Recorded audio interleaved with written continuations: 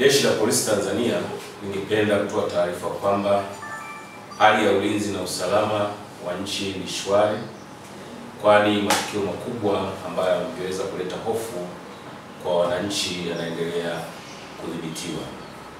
Hata yale matukio ambayo yametokea yameendelea kushughulikiwa kwa nguvu kubwa na wahalifu wanaendelea kukamatwa kama makamanda polisi na vikosi wanavyoendelea kutoa taarifa zao mara kwa mara.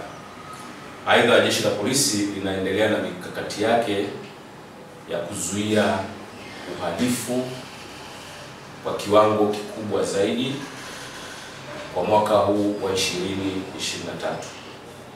Miongoni mwa mikakati ambayo tunaendelea nayo kwa nguvu ni mkakati wa kutoa elimu kwa wananchi kama tunavyofanya kuanzia shule za msingi hadi vyuo, mikutano mbalimbali kwa wananchi katika kata, vijiwe vya bodaboda, masoko, maeneo mbalimbali yenye mikusanyiko, nyumba za ibada na katika vyombo vya habari.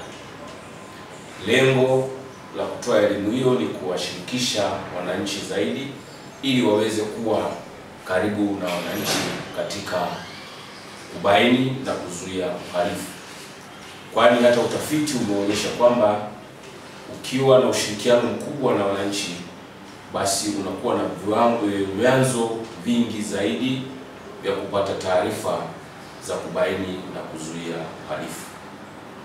Jana tarehe 25 mwezi wa kwanza 2023 katika vyombo vya habari ikiwepo mitandao ya kijamii vilionekana taarifa za tahadhari zikisambaa kutoka ubalozi wa Marekani hapa nchini wakitahadharisha wananchi wao kuhusu uwezekano wa kutokea uhalifu wa kigaidi hasa katika maeneo yale yanayopendwa kutembelewa au yenye mikusanyiko mikubwa na ambayo pia yanatembelewa na wageni.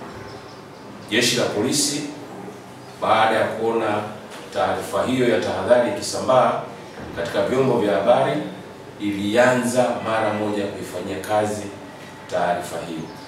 Hivyo tunatoa wito kwa wananchi kwamba hali ni shwari, waendelee na shughuli zao za kimaendeleo kama kawaida, kwani jeshi la polisi tayari limeanza kufanya kazi taarifa hiyo. Hata hivyo, pale itakapoonekana jambo lolote linalotia mashaka au mtu au watu wanaotia mashaka kutokana na mienendo yao, basi tunaomba taarifa zitolewe haraka ili ziweze kufanyiwa kazi. Asanteni kwa kunisikiliza.